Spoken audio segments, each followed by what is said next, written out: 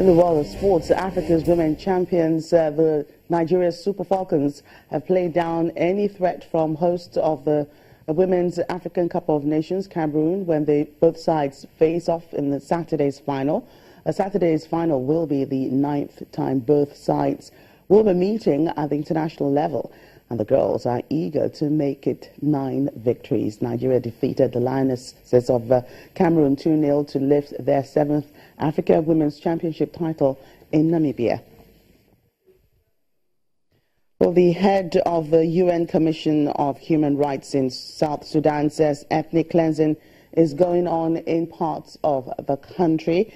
Chairperson of the United Nations Commission on Human Rights in South Sudan, Yasmin Sooka, said at the end of a 10-day visit that starvation, gang rape and burning of villages are still being used in the country. Members of the UN Commission on Human Rights in South Sudan have called on the international community to do more to prevent South Sudan from spiraling into catastrophe. The team of three commissioners has just concluded a 10-day visit to the country in which its members toured different regions such as increasing hate speech, a crackdown on the media and civil society, and deepening divisions in the country.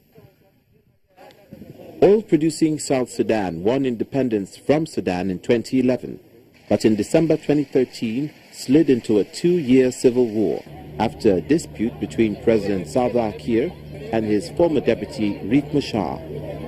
A peace deal signed in 2015 has failed to stick, and sporadic fighting between rival soldiers has continued, leaving many of the nation's 11 million struggling to find enough to eat.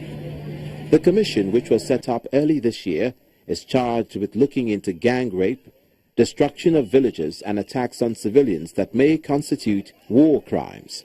The Commission reiterated what the UN Special Advisor on the Prevention of Genocide, Adama Dieng, told the Security Council last month that he'd seen all the signs that ethnic hatred and targeting of civilians could evolve into genocide if something is not done now to stop it. In the meantime, the World Food Programme has warned that malnutrition is above the 15% emergency level in 7 out of 10 states, as famine looms, leaving at least 4 million people severely food insecure. Many people fleeing fighting left their crops to rot in the fields. Joining us uh, to talk more on this issue is the VOA's uh, Jill Craig. Thank you so much for joining us on the program. You're welcome. Thank you for having me. Right, there are so many stories of the atrocities going on in South Sudan, but could you give us a clearer picture of what's going on in that country? Yes, uh, a clear picture of I think anybody has at this point, to be honest. Um, as you said before, you know, there was a three-member UN Commission on Human Rights group that just got back from a 10-day fact-finding trip to the country. And uh, the commissioner said that ethnic cleansing is taking part in some areas where the stage is set for a repeat of the Rwandan genocide that, as we all know, occurred in 1994. And those are quite strong words. Um, coming from the head of the UN Commission on Human Rights in South Sudan. Um, she further mentioned that people are being displaced through starvation, through burning of villages, and through rape, which are all being used as weapons of war. So currently, it is quite a grim situation in South Sudan. Is there what's the sense you know of security there? What are the people feeling? Uh, do they feel safe at some in some areas and maybe uh, and violence going on in some other areas? Yeah, that's a good point. Um, in the earlier days of the conflict, there were certain pockets of the country that were considered relatively safe uh, compared to their neighbors. At this point, those places are becoming few and far between. And I'm sure that many of us, uh, including your listeners, remember the latest onset of violence that occurred in July of this year um, when there were attacks at, um, at a private hotel compound as well as in and around the IDP camps in Juba. So even Juba uh, in July was not considered safe. Now, I think in Juba now um, it's it's become a little bit better, but um, it's also getting a bit tenuous um, with some other threats that are coming down the pipe um, in terms of what could be happening in the coming days and weeks. The president has said that, or has denied reports of ethnic cleansing in South Sudan. From what you've seen and reports that you've heard, do you think this is true? Uh, sorry, I had trouble hearing you. Are you are, is the question, am I seeing, do I believe that there's ethnic cleansing? Certainly, yeah. Um, yes, I actually will. Um, I, I haven't um, been to South Sudan in recent days, so my reporting is based on what I'm hearing from analysts and from people who are there.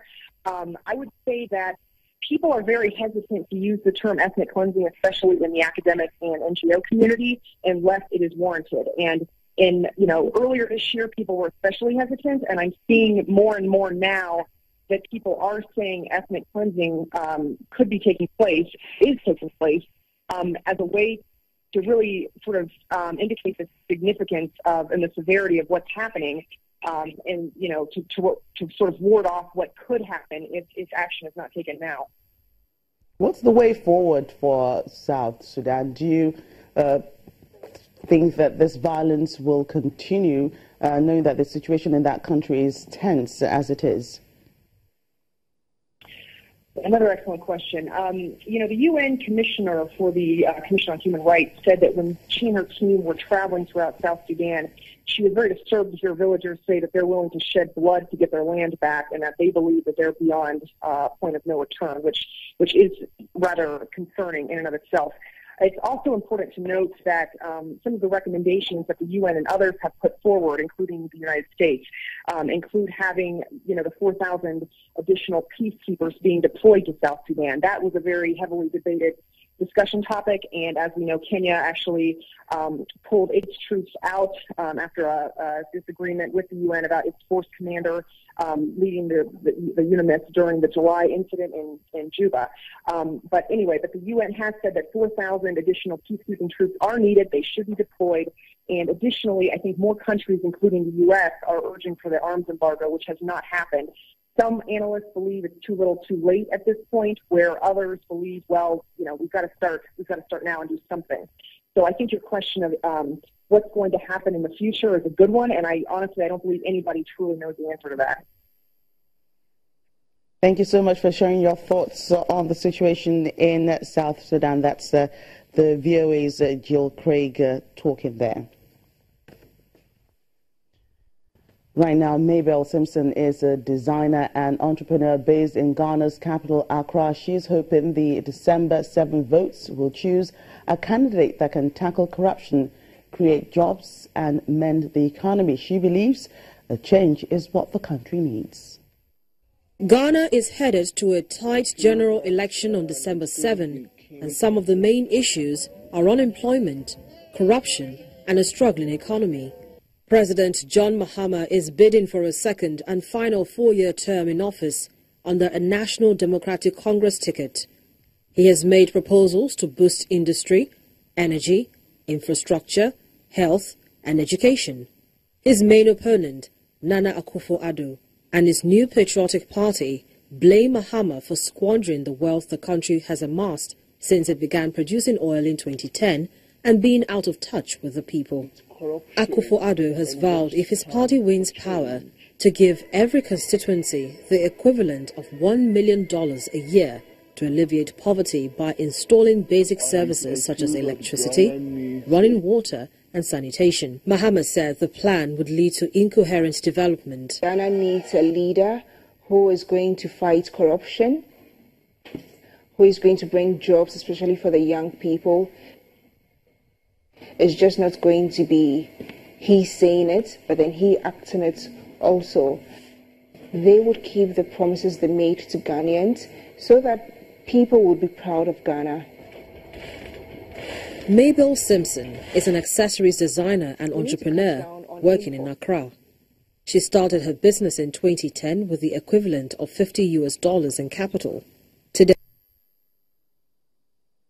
Well, that's Network Africa. Thank you so much for watching. I'm Jopia Rogers.